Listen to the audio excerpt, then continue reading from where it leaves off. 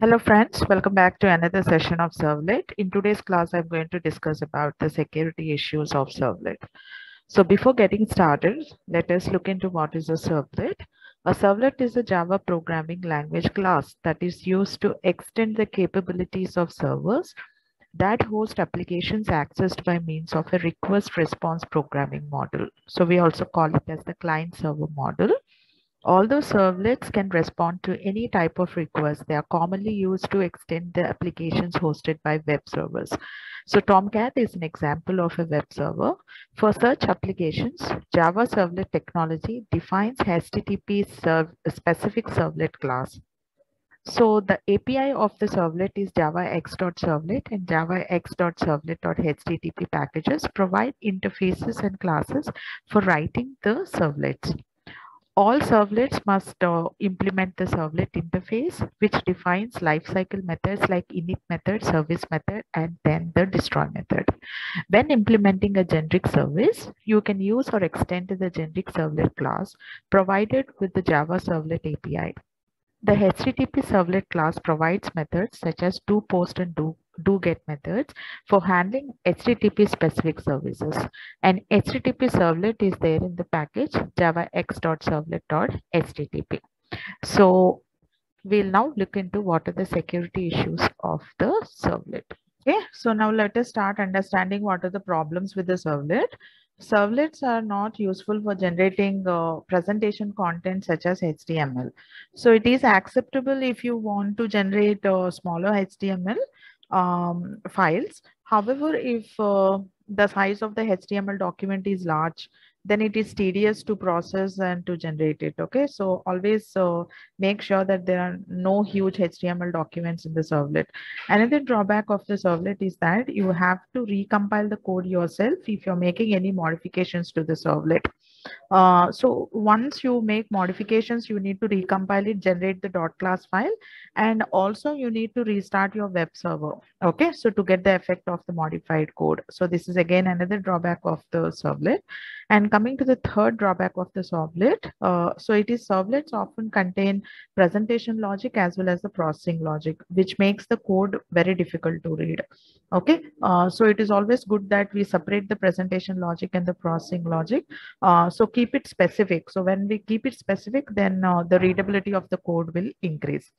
So now that we understood what are the problems with the servlet, let us move on with the security concerns. Let's try to look into the security issues of the servlet. So the first one is before installing servlets in the web server, make sure that they come from the trusted sources. So what is uh, meant by they come from the trusted sources? Uh, so we know what are servlets and applets. Servlets are the programs that reside on the server and applets are the programs that help or extend the functionality of the browser. So applets run on the client side. So applets cannot perform operations that are potentially dangerous to a um, machine. So this could include reading and writing files, opening sockets to arbitrary machines and calling native methods and creating new processes. So all this can happen when you run an applet. So similar constraints uh, exist uh, for untrusted servlets as well. So code that is loaded from a remote machine is untrusted. The trusted servlets are those which are loaded from the local machine. So, um, so that is regarding the servlet. So always we need to make sure that the servlets are the trusted ones. And the next one is, uh, uh, so to avoid this unnecessary um, code exec uh, untrusted servlet execution and um, unnecessary access of the file system by the servlets and all that. So we need to uh, include the concept of the sandbox. So what is a sandbox? A sandbox is a container of servlets where the restrictions are imposed. This concept is similar to how browsers control applets and it is known as sandboxing. A servlet can originate from several sources, as I already have said, like it can be uh, generated written by the webmaster, or the servlet may have been downloaded from another website, or it may have been bought as a part of the third party package. So based on the source of the servlet, a certain level of trust should be associated with the servlet. Some web servers provide a means to associate different levels of trust with different servlets. Servlet sandbox is an area where servlets are given restricted authority on the server. They may not have access to file system or network, or they may have been granted a more trusted status. So here in the sandbox, the servers, the servlets will be given some status, and it is up to the web server administrator to decide which servlets are granted this status. Sometimes um, that a fully trusted servlet has a full access to the server's file system and networking capabilities. Uh, it can even perform the system.exit. So when system.exit function is invoked, method is invoked, the exit method is invoked on the system class. Okay, so stopping the web server takes place. Okay, so even that kind of privileges can be given to a servlet. Access control list, which we call it as ACL. Okay, so uh, each web server has its own means of specifying an ACL, but in general, a list of users is registered on the server and those usernames are called, are, are used as an ACL. Some servers also allow you to add users to logical groups. So you can now uh, grant access to groups of users without specifying all of them explicitly in the ACL. ACLs are extremely important as some servlets can present or modify sensitive data and should be tightly controlled, while others only present public knowledge and do not need to be controlled. So many servers allow you to restrict access to certain web pages and servlets via the access control list. An access control list is a list of users who are allowed to perform a specific function in the server. So the list specifies what kind of access is allowed, what object the access applied to, and which users are granted access. Uh, so let me give you an example of ACL. Okay, so first, uh, before giving the example, let me tell you what is exactly meant by security in the web application. Uh, let us look into what is meant by security. Okay, security is equal to, okay, so we can say security is equal to authentication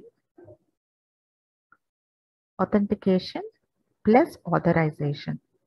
Authentication plus authorization. Okay? Uh, so what is meant by authentication? Authentication is checking the identification of the user. Okay? Authorization is verifying the access permissions of a user. Okay?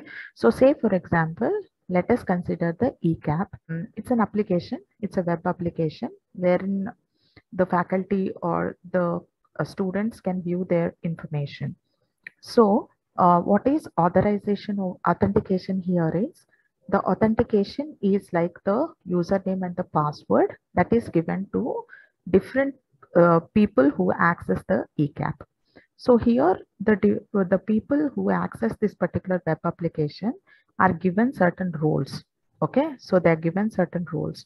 So the roles can be like it can be the student role, or it can be the uh, faculty role or it could be the principal role okay and the admin role and all that okay. So based on the role they can they'll be getting the privileges or they'll be getting the authorization. So authentication is done. So authentication is done by giving the username and the password and authorization is given based on the roles okay. So based on the role the student will be able to see only his or her information and the faculty can, will be getting more privileges or more authorization and the principal will be getting uh, even more privileges. He can view everything okay? So this is what is called as access control list. So by specifying all this username password and then the role details and the privileges in a list we call that list to be acl the administrator of the web server decides which servlets are given which permissions. So as I already told you, it depends on the role of the uh, user. So in addition to these security issues, the author of the servlet should consider following points. Take sufficient care while writing the file upload code and review the code that accesses files databases based on the user input. Make sure that the request comes from an authorized user, do not rely on the existence of the session variable and make sure that you have not used the system.exit because this particular system.exit will close your web server. And uh, so uh, anywhere in your program. So you should not be using this system.exit anywhere in your program and do not display sensitive parameters. So for example, password is a sensitive parameter. So do not display sensitive parameter values in the web page.